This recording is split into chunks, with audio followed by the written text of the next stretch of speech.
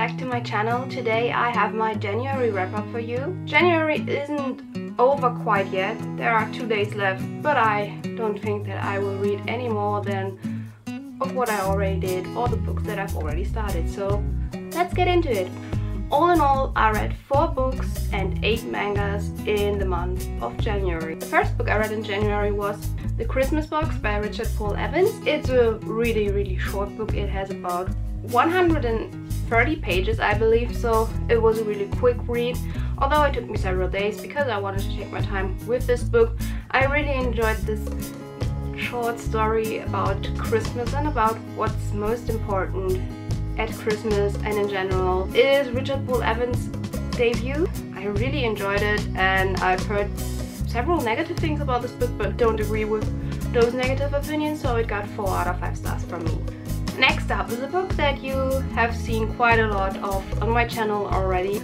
A Little Life by Hanya Yanagihara. I really enjoyed this book. It was a really unique and changing reading experience for me. So this book got 5 out of 5 stars from me. If you want to know any further detail why I like this book or of my reading experience, I will link my review and my reading diary playlist in the info card above.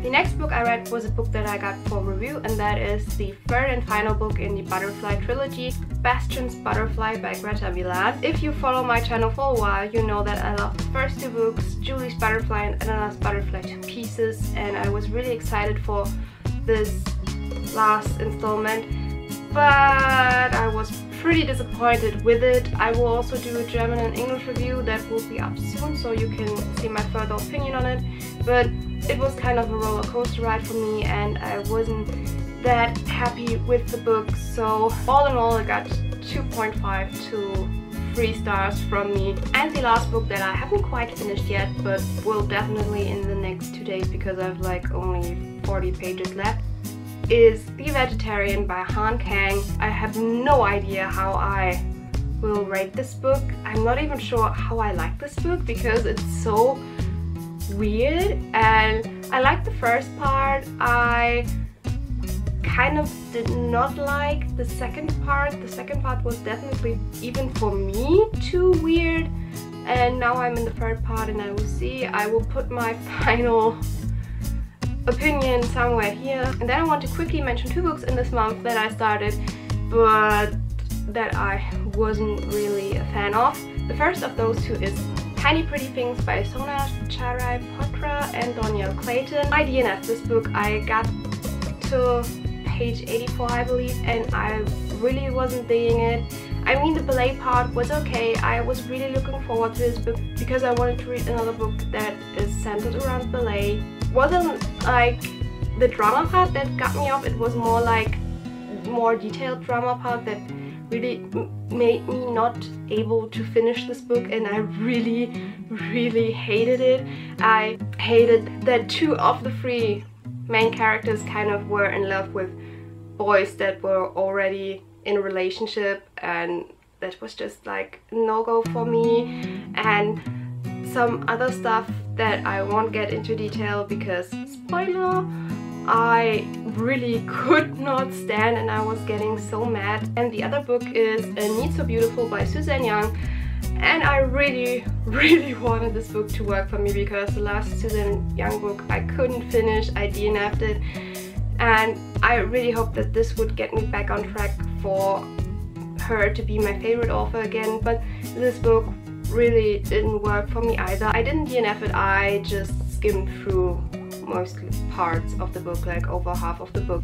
And as you can see, it is a signed copy, so I would probably hold on to it. And I like the general premise of this book with this new perspective on angels, but everything else was kind of not interesting at all. The side story about her best friend, I did not care at all for. There were too many needs that she had to take and she couldn't really resist any of them and the, the synopsis of this book was kind of like uh, giving me way more information than I needed. I didn't came across it in the book, the parts that I read, and it was just too much elsewhere for the story to keep me interested and to get onto my mangas I read this month because I wanted to take my time with the actual books. I kind of read a lot of mangas and decreased my manga TBR quite a bit. I had a lot of manga still left on my TBR, now I have only two. The first manga I read was the first volume of Miyako by Kyoko Kumagai, I believe.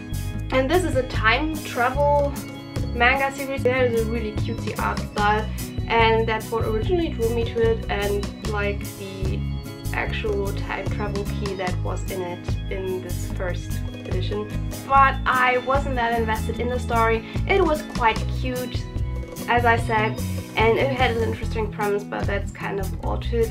And I didn't like that my favorite character, Hotaru, who's the sister of Miyako, was kind of the one who was getting all bad shit. And I don't think I will continue on with the series. I gave this particular manga 2.5 out of 5 stars. The next two mangas I read are the manga version of the 17th Detective Conan movie and that is called Private Eye in the Distant Sea volumes 1 and 2 and I really enjoyed reading this. I'm a huge fan of Detective Conan in general and I'm a huge fan of the movies. I own like the first seven of them. In general I really enjoyed the story and it was really gripping like the movies. It also took a while to get the story going like the movies do but the end and the fight scenes and this last part, the action scene weren't that well translated into a comic format so I probably would prefer this as the actual movie but the story itself was really good. With Detective Conan I don't think that you can do anything wrong so both got 4 out of 5 stars from me. Then I finally finished the second volume in the Pretty Guardian Sailor Moon manga series by Naoko Takeuchi. I believe all of you know Sailor Moon who are my generation. I grew up with the anime, the first anime of Sailor Moon and got the first two volumes about a year ago and have been reading the second volume for about as long. I had only like a few pages left so I finally put an end to its fate. It was okay, the mangas are beautifully drawn but I think I will always be kind of this original anime girl. And the last four mangas I read this month are the last four volumes in the Princess Sakura manga series by Arina Tanemura, so volumes 9 to 12. And I have to say I really enjoyed those three mangas. They were really interesting and I liked this Ruryu storyline a lot and I was really shipping her with the guy. It was really interesting story overall. I loved this three in particular. They got 5 out of 5 stars from me. I was kind of left unsatisfied with it.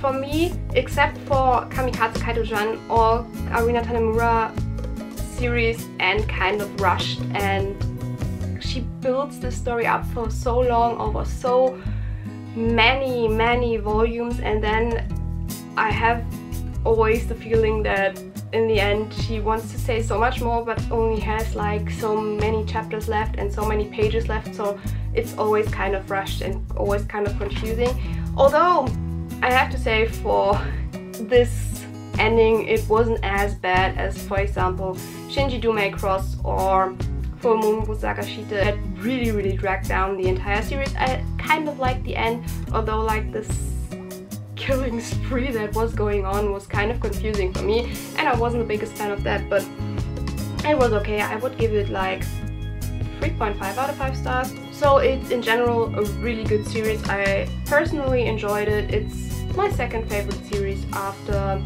Kamikaze Kaito Jeanne in general but Kamikaze Kaito Jeanne is just the best Tanemura series I've read so far for like the overall in general arc. So those were all the books and mangas I read in January. I hope you enjoyed this video. How many books did you read in the month of January? Was January a good reading month for you? Please let me know. If you want to see another wrap up by me, then click here. But it's a really old one, I promise you that. If you want to see my last video, then click here. And if you want to subscribe, feel free I will leave this button somewhere here and please remember to also hit the bell button so that you get notified when I upload a new video. I hope you enjoyed this video, give it a thumbs up if you want to and I will see you soon with another video. Goodbye!